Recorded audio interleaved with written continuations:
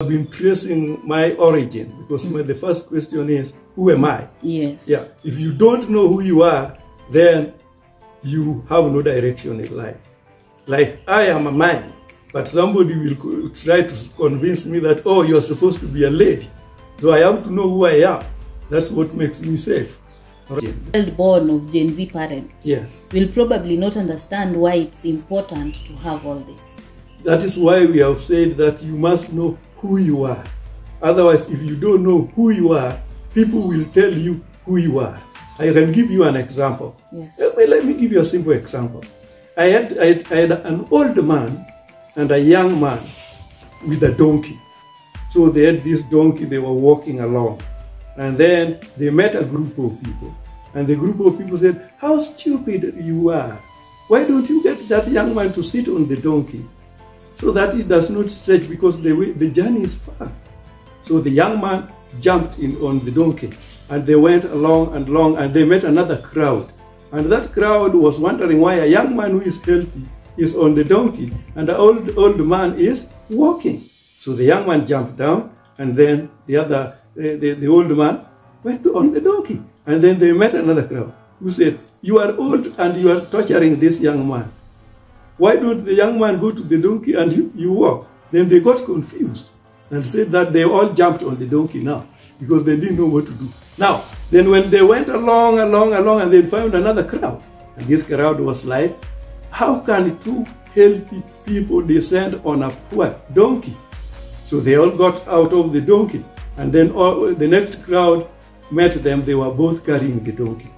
All right? So that is what we call the loss of culture. The moment you lose your identity and your culture, you become a slave. You don't know where your home is. And then you depend on other people. The, the other cultures will assimilate you, and then you will be annihilated as a community, even as a nation. So that is what the current people who think that they know, that they don't know, that they should stay and promote their culture because that defines who they are. Yeah, but uh, do you think or do you believe or what is your view on the thought that the world is now having a universal culture? We are sort of trying to develop a culture that can fit all of us. There's nothing like a universal culture. All cultures are already established. It is, the only thing that can work now is losing your culture. Don't talk to me building a new culture. Tell me that we are working on a situation to lose our culture. That one I will understand. Okay? That's it. We are losing our cultures to a common culture which is not a culture. Let me give you an example. Yes. English has turned into Sheng. Kiswahili has turned into Sheng. They have created a new language. That's not a culture. That is a, pr- a, re- a, a- a- a result of a loss of language. Loss of original language. So if you say, if you, I think you should just ask me that, okay, now that the world is moving towards losing their culture, what do you think? Then I, my answer is they should not lose their culture. Because if they lose their culture, then they are lost people. I understand. Wow. okay, we are losing our culture. Definitely. I I was talking to you earlier, and we mm. discussed about how parents treated their children who were born in the 80s and the 70s. Don't you think there's a difference? Yes, there is. there is a difference. So, so because now the the the the the, the, the old parents of old were very strict with their children, mm. but now the, the, the, the mothers call their ch- children daddy, and and the father also call them daddy, and the daddy is still in the house. How many daddies do we have in the same house? So those are the loss of culture that we have. So we are losing the culture. We are not building a world. There's nothing like a, a world culture. Now, we have to eliminate this mystery. Mm. I have traveled a little. I've mixed with mainly in the United States. I've been a professor in the United States. Right now, I'm involved. I'm a consultant in the United States in the pharmaceutical industry. Now, th- they are neat. They are well knit in their foundation. Some people came from Europe. They kept their traditional way of food, their dance, their music. So when you are going to a pub, you are going to Irish pub, or you are going to to a Russian pub. They maintained it, but they are still the United States of mm. America. They are still united, but they keep their own culture. But meet my friend a Luo in the center of London. You can speak Zulu and it assumes like he is not here in even hearing. Eh? That is what we call loss of culture. And I don't want the Luos to lose their culture in the name of global culture. There's nothing like global culture.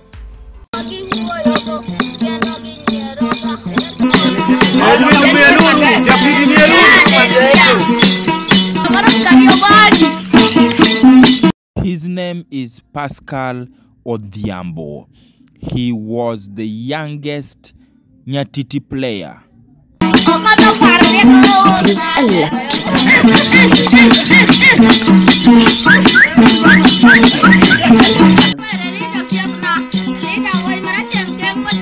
And this is him now because of love for culture, young talent, Professor Dr.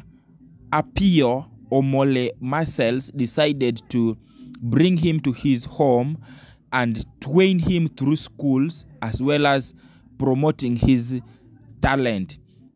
His mission is to promote the African culture so that we do not lose our culture to other prominent culture and we become a slave to them.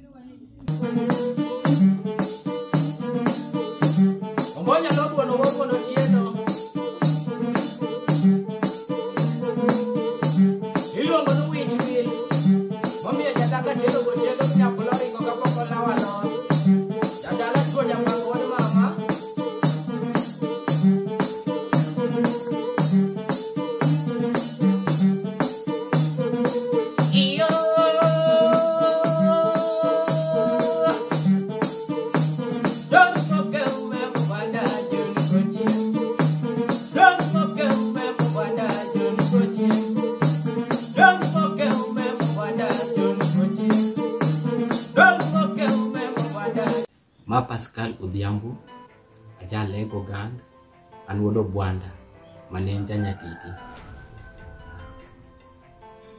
Oh, koro in jalego ok joyongo. kata jalego Oh, okay.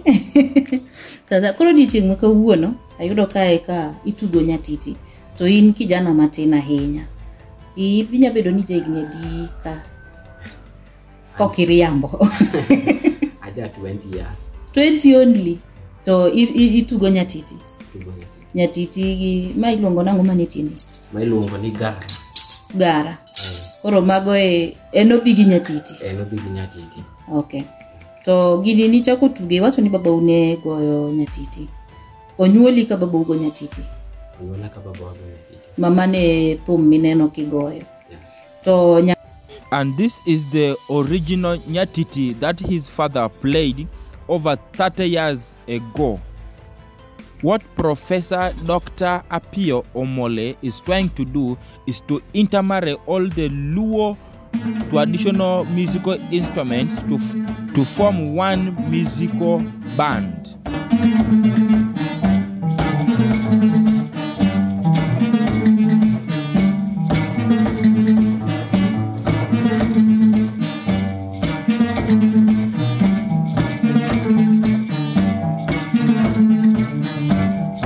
Nyaka sani nyithindo yowuoyi weteni goyo angla, go bongo, to giuso, to giwuothogo. In ang'o miyo in nyatiti ka emidong'? koro nyatiti kae nyatiti nachako here gi chon kaka nonyuola to babawa notho noweya kapod atin koro nyatiti ne en instrument mane nitie atia e ot kanyo koro seche moko nanyalo wang'o time to agwele matin tanwang'o komor koro amane kaka nadonji nyatiti koro omora amora nyaka gi sani koro ok ahero ma mondo to nyatiti nitie to ne en instrument mane padhi tiyogo To koro nyaka sani nyatiti ni igoye okang' mane? Isegolo thumbe mag nyatiti koso ichano golo koso ichopo kode e okang' mane mar goye?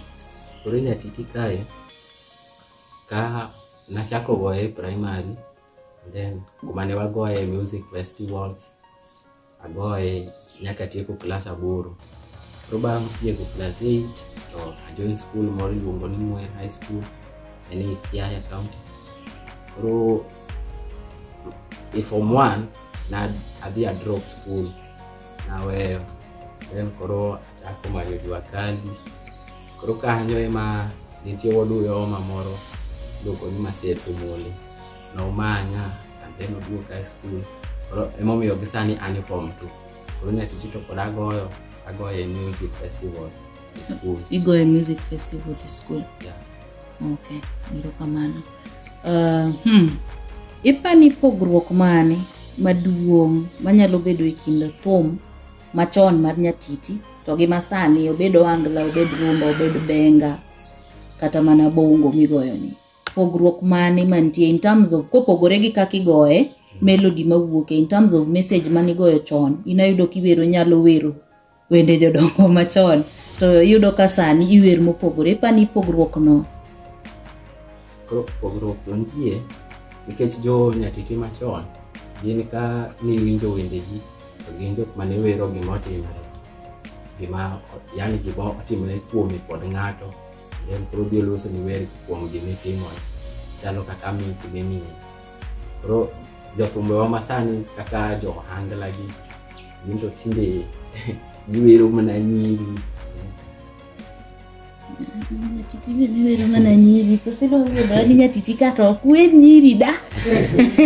Wero nyiri malich nyatiti jatiti to ok wadipendo ni nyako. Mm, wero kata inawinjo kiwero nyaka jojuogi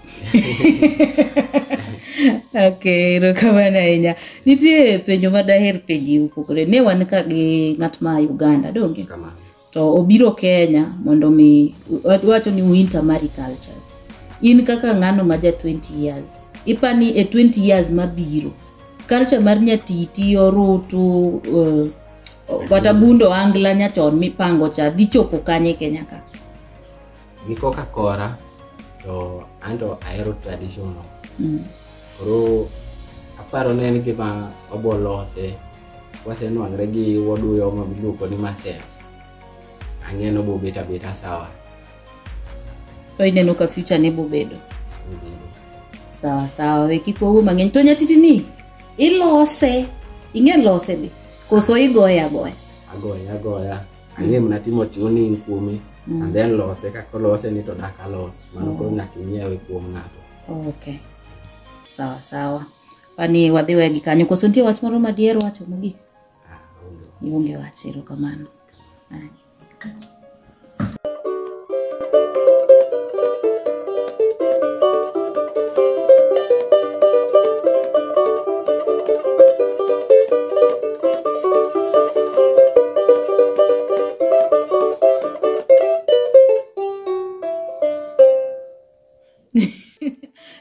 So much. So, what is your name? I'm called Isabili Awali. Who? Isabili Awali. Isabel Yes. Awali Yes. from Uganda. From Uganda. Mm-hmm. Where in Uganda? Where? Mayuge. Mayuge, Uganda. Mayuge. Mayuge district. Mayuge district. Yes. Okay. So, what? Uh, what which instrument is that you're playing? This instrument called Adungu. Mm-hmm. Yes. It is played in which culture in Uganda? In culture, we played in so many cultures, mm. but especially low culture. law Low. Okay. Yes. is in northern Uganda. Mm. Okay. So this adungu that you're playing here in Kenya today, Yes. why did it bring you to Kenya? Because they, they, they are tribes in Kenya mm. called law Kenya. Mm-hmm. Yes. And why this one? Do they do, because Luos in Kenya do not have this one? Do not have, but I'm, rep- I'm I am representing those low from Uganda. okay, and so I wanted those people, low people from Kenya also to see. Okay. Yes. Thank you so much. Your your your your shirt has a name, culture Shakers Cultural Group. Yes. Yes. So tell us about your cultural group. Uh, this is Shakers Cultural Group. Mm-hmm. It means things concerning culture. Mm-hmm. So there is even a title which says ebyenono bya busoga namba etya ndala. It means the cultural things or long ago culture should be number one, others to follow. Yes. So why why you as a young person now, hmm, you decide to play culture song and not modern song? Uh-huh. This culture thing, this culture music. It was always good. It teach people. It you can get more about those days long ago. So this cultural music eh, helps us to know what was behind when we were not born. But in terms of earning money from culture songs, Yes. do you get money from culture song? Or Ye- is it modern song that has more money? Uh, uh, culture one. Mm. Culture one, you get money more because it is expensive. Tourists are coming from abroad to get those cultural things. Okay. Thank you. So you are in Kenya today. Yes, I'm What are you doing in Kenya today? And I'm I am teaching the Luo tribe. Mm. These are Dong from Luo people in Uganda. So I'm teaching them. So do you also teach those in Uganda how to play cultural instruments? Yes. Which which other instruments can you play? I play Orukutu. Oh? Orutuku. Adingidi. Huh? So in, in Luo there in Uganda we call it Aligirigi. Mm-hmm. Yes. This one. Aligirigi. That is Orutu. Play for us more. Okay.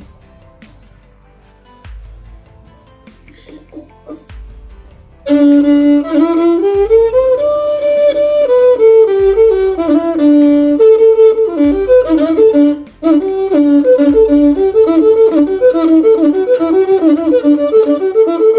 So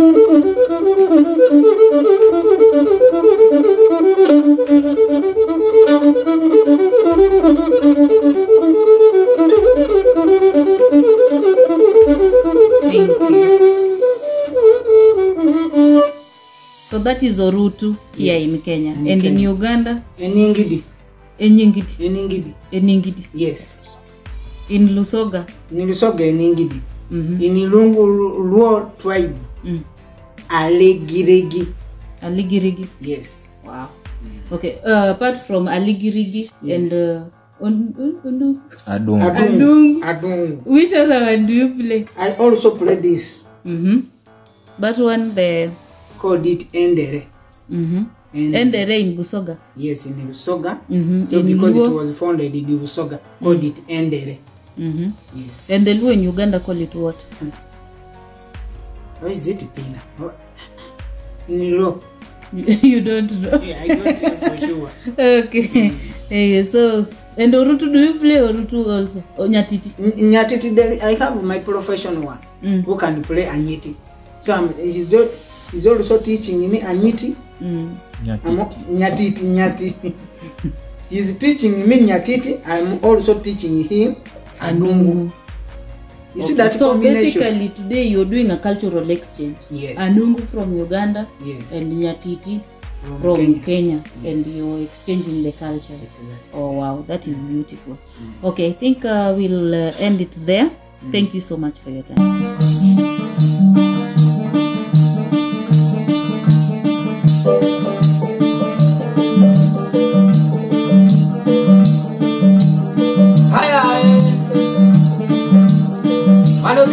wanda odhiambo mudho yeme wamudho gobuk bekilo tenga iluongo ni masel somonde oduyo mandigwa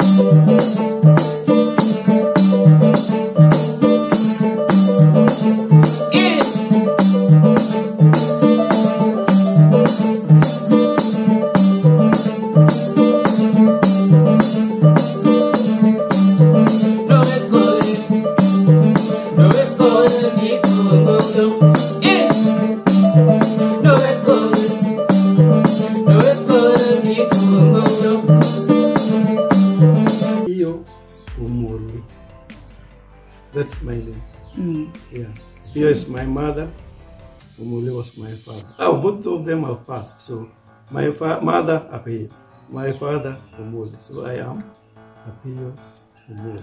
So that You- you can- happens in Luos. Ah, the what? Luo, Luo name people like that. Luo's named, I named myself. I, I didn't wait for anybody to name me. But when you were born, You see, when you, when you are born and then you are named, you don't even have control of how they name you. So when you grow up, you have a choice to rename yourself. Okay. Yeah. So I said, okay, my father, what is your name? My mom told me this is father. My father told me it's called Mother. And they gave me another name. And then I said, oh, oh, I'm not going to use that name. Then they asked me why. I told them that one, you didn't go to school. They don't didn't know how to read. They didn't know how to write. And they were willing to sacrifice their life to make sure that I was both educated and learned with the scarce resources that they they had. So I wanted their names to be reflected wherever I went. So I got their name. Those are my official name, Apio Umori. They are in publications, they are in books, they are everywhere. Apio Umori. Those are my official names. Mm. So people ask me always where I go, oh, where do you come from? Where do you come from? The answer is very simple. I came from my father through my mother. So they write, then I correct them that if they want to ask me what they're looking for, where were you born and raised? So I tell them, oh, I was born at the lake shores of Lake Victoria in a place called uh, Agok, which is a subset of Rarieda and sub, a subset of Siaya uh, County, which is a subset of Kisumu City, and then the entirely Kenya as a whole. So that's where I was born and raised. But where I came from, obvious. From Your my mother? father to my mother. That's it. So okay. you are Wood Rariena or you are Jara Riena. Yeah, and Jara Riena. In Jara Riena, talking Wood Rariena. uh, and would go. But you see, once you're born in a place, uh, you when you associate with it, you are right. And we would Rarieda, and would go, and would Bondo, and would Siaya, would Kenya, you know, in that in that life. yeah. Okay. Thank you so much. So today, uh, we are here to talk about culture Yes, and basically culture uh, intermarried in music. yes. What's your purpose in culture, in promoting culture? So first of all, we must identify when we talk of culture, Mm. we have to define it. So it is the way people do their things, the traditions. How do they eat? How do they sing? How they do, do they communicate? So that's why we have a language. So that language is intertwined in what? Culture. The foods you like, the foods you don't like is in the culture. The music that you play, the instruments that you use that are intertwined in the culture. The way you bury your dead or the way you mourn your dead, that is in the culture. Culture. So I am interested in promoting the Luo culture uh, because I am a Luo. So my, the first question is, who am I? Yes. Yeah. If you don't know who you are, then you have no direction in life. Like I am a man, but somebody will try to convince me that oh, you're supposed to be a lady. So I have to know who I am. That's what makes me safe. Right? Yes. So I am a Luo from Kenya. Mm-hmm. And I would like, I have been following the origin of the Luos. And what defines the Luos, one of them is music. And that's why we are here today. So the main thing is to get, let it not get lost.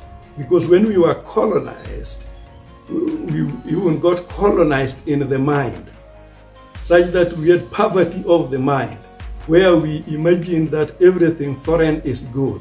And then we, we start discarding what was, what was the foundation of our culture. So my purpose is to preserve the Luo culture. And one way of preserving the Luo culture is to get the young people engaged in the way our ancestors did things in terms culturally, in terms of music, in terms of activities, in terms of relationship, in terms of respect, and in terms of response to authority. Okay? So that is my goal. And in that regard, I am a patron of a cultural group called Kombunya Cultural Group. And their main uh, objectives is to sensitize the young people and to make sure that our culture continues in years to come. You see, you, see, we would like even to have a culture where the, our, our girls know how to cook. Because I have seen young people come from the cities and then they follow YouTube's how to cook ugali. That is crazy. Because by the time they are still watching the YouTube, all the water has evaporated from the pot. They have to pour new water into the pot, and when they come back, that's lost. And the appetite of the people who are waiting for the food is always is already high, and the lady is still struggling with the YouTube without network. So it means if the network gets that get, disappears in the village, we, we sleep hungry because our daughter did not know how to cook. That means the lost is lost. It has not our the foundations and the basics of our culture. So that is what I promote. Well, so in your attempt to promote this, what are some of the things that you're doing to, to promote the culture and instill some of these disciplines? So first of all, I look for talent. I look for talent in terms of those, those who are capable of culturally uh, mentoring the young people. So I support them in all ways that I can. Number two, I also look for talent in music. So different cultural music associated with the Luos. So it is not only in Kenya. I do it in Uganda, I do it in Tanzania, I talk to some people in Ethiopia, those who followed the Nile, the Luos looking for fish. Although these days they don't get the fish, they sell them to the non-Luos and sleep hungry. So we are promoting that culture so that we know our best foods, how to produce them, how to use even sorghum. Because I, I go to a city, I find a Luo girl or a Luo man, and they're going out for pizza. And pizza is an Italian ugali. So why do you go for an Italian ugali when we have our ugali? So those are the things that we promote. So how do I do it? I, I organize cultural events. Number one, we eat the Luo food. We sing the Luo music. We play the Luo instruments. And that is a way of promoting it. Number two, getting involved with high schools, okay? Yes. Uh, high schools who are interested in either playing or saying the poems or participating in the real activities that are culturally reflecting. All right? Yes. Yeah. So, where do I come from? It's already explained. My purpose is already explained. But now, are we, where are we going with this? Where we are going with this is that we would like to expand beyond our comfort zone so that we share our culture with other people in other continents. So that we don't, you don't just believe that anything originating from us is not good, that only foreign things are good. So I promote even cultural presentations out, outside the borders of our immediate neighbors and our own country. Okay. As uh, we are talking of uh, culture across borders, I can see that uh, next to you there's an instrument that is from Uganda, the one there on this side, Yes, they call it a dungu, the adungu. Then we come on this other side and there's uh, nyatiti. nyatiti. So these instruments, I understand you're not a musician, but No, you, you have a keen interest, and Yeah. I've seen you play it. Yeah, I have a very keen interest. yes. Yeah, so I, you know,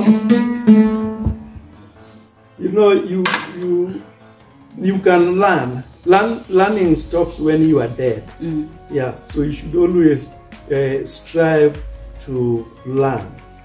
Because I went to school also, so when I'm talking to promoting the cultural event, Yes. they will say, "Oh, this music are for old people. This music are those who didn't go to school. This music are for some drunkards in the village." That is not true. I also read a little. I went to school. I did some little teaching, okay? so I went in, in the pursuit of that. I went to a small school in my village called Agok Primary School. Mm. Because some people, then I went to St. Mary's Yam mm. for my O levels. Some people come after O level, they say they completed the school, that they have Right. completed education. Right. So you have, so you mean you have completed everything? Nobody will be getting anything from that school. So I decided to go to school until I get a signpost called "No, schooling schooling ahead." So that's why I went to St. Mary's. After that, I went to Thika High for my high school. After that, I went for a teacher training in Moi Teachers College. I went. I taught in Chanda High School maths, physics, and chemistry. Those were my subjects. Then I went to. After the training, I taught there. After that, I went back for my master's in Egerton. After that, I went to the United States for my PhD. So, but I still play. I find some lures even in the US.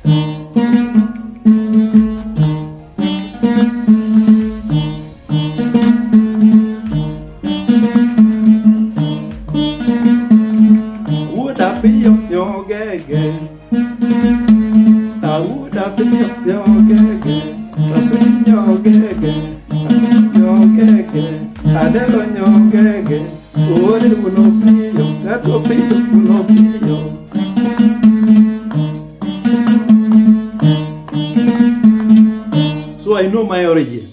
Yes. I know my immediate uncles. I know where my mom comes from, and I speak the Luo. So some people, when they get a little education, they, dis- they, they disregard their, their language. Then they, they, they come with some English which they are just swallowing, and we cannot hear them. So sometimes we decide to talk like Luos because our, we have our origin, we have our culture. There are some people who don't even eat a lot. But they can't eat, they are looking for what? Donuts in the streets, in our cities. So we promote our culture in terms of food, farming, and all that kind of stuff. How do we promote it? Where we can, financially. Where we can, organization and sensitization of cultural events. Uh, where we can, if we find kids who cannot afford even to go to school but they have talent, we can chip in something to make sure that they promote talent through going to school and learning new cultures. Because now I'm speaking a cultural language. Why? Because I want to reach other cultures who cannot speak our language. Yes. In that context, I think uh, you've digressed a little. I'd like to know what's the importance or what is your end game in intermarrying or bringing together the Luo cultures. Like now we have the um, uh, Adu- Adungu. Adungu We have Orutu, and the we and the Nyatiti together. and the Nyatiti together. yes. So I, I was interested in the Luo immigration. Okay. Now, we are we moved from what I'm told, we moved from the Middle East and we went through Egypt and then we went through Sudan and then we came to the River Nile and uh, Padhola, Dola, Lur, uh, Pakwach, Jonam, uh, they were all Lurs. But then some of them, when they were traveling, they met other tribes on the way. They got intermarried, they got married there. They stopped at that point, and in the process, there was a change in the language transition. So they no longer speak. They speak the same language, but the dialects are different. Yes. So that you can be speaking and hearing similar things. So the end game here is to remember that we came, we have the same origin, and to unify our people through music, through exchange of culture, and to to expand our territories and our talents and share our talents with other other other other, other whatever you may call the subsections of the Luos. as as we do that what uh, what will this bring because so for, one- for someone Yes. uh, just to bring a perspective for someone who is born today Yes, uh, a, a child wow. There's nothing. Global nothing. you you've supported that statement with the, your strings. Yeah, yeah. okay. So um, as, as, a, as a promoter Yes. of culture why specifically did you choose to do it more through music? Because uh, have you watched people when they are seated somewhere, seated, and then you introduce music? You know the body starts responding without even you telling them? And you will find them knocking their heads. Yeah, without you telling. That is the most powerful way of communicating. to people. Even when, when you see, like when I come back to Kenya once in a while, I find things have changed because uh, Ohangla is now out there. So you find even a small kid in the street. "Etinge gimalo, anikete gika, etinge gimalo." You see, they don't even understand the wording but the beats. Yes. So that is a very powerful tool in communicating music. Hmm. And it is even believed that in the ancient, ancient construction of huge, like we cannot re- reproduce pyramids, okay? But they believed that there were some sounds that could lift stones, and it was embedded in the music, okay? So that's why I chose music, because everybody responds to Music. responds to music.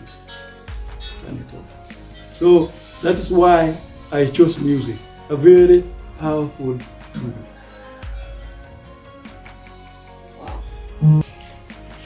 Hola. Parodong nono. Hmm. What next? Hmm. What is your next step? My next step Yes. is to continue and liaise with the media so that we- you cannot do it in isolation.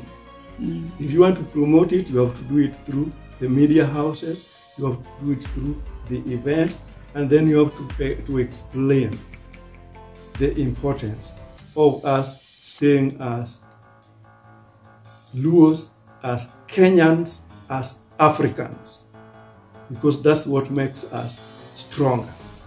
If we are split in terms of our culture, then we will be a defeated group of people. Thank you. Your parting shot as we finish. Hey, the Luos who are out there, don't traum- uh, tra- traumatize us with different things outside our culture, like not teaching your children to speak our language and telling them that our food is not good, good enough. We should be rooted in our culture because that is what defines who we are. If you are outside there, you have any comment, we can have a discussion. My phone number 07 15 79 69 44. I'll say it again. Kenyan number 07 15 79 69 44. Do not call me, text me. Thank you so much for your time and for the opportunity to be with you today. And thank you very much for capturing this event and taking your time. I'm really humbled. Yeah, that you could take your time and come and cover this event. Thank you.